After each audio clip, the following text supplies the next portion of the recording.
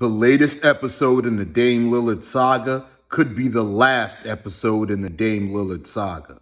After his viral Instagram post and delete, the Portland Trailblazers have ramped up their trade talks and are motivated to move Lillard before the start of training camp, according to Adrian Wojnarowski.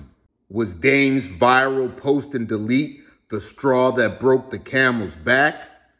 We shall see. What up, family? Welcome back to the channel. You already know it's your boy Moose Talks Hoops. If you're new to my channel, hit that subscribe button, hit that notification bell, and hit the like button you already know. It's a lot of things in this world that cost, but hitting the like button ain't one of them. It was in early July when Dame Lillard finally requested a trade from the Portland Trailblazers. And since then, the two sides have been at a standstill stalemate.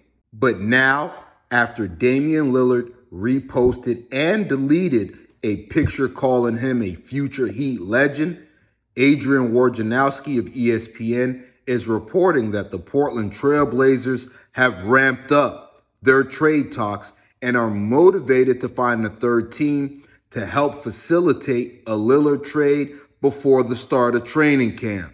The Portland Trailblazers know they can't have this baggage hanging over their head at the start of training camp.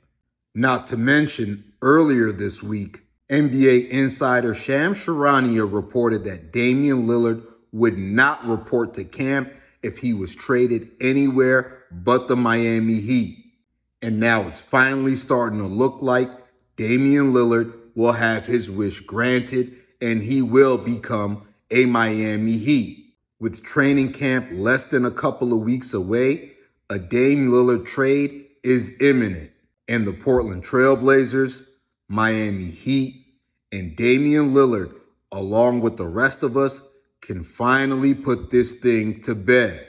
Jump in the comments and let me know if Dame Lillard starts training camp as a member of the Miami Heat or a member of the Portland Trailblazers. That's all I got on this for now. Once again, you already know it's your boy Moose Talks Hoops. Like I always say, if you're new to my channel, hit that subscribe button, hit that notification bell, and hit the like button you already know. It's a lot of things in this world that cost, but hitting the like button ain't one of them. I'm up out of here for now. I'm going to catch you guys later. Peace and love, family.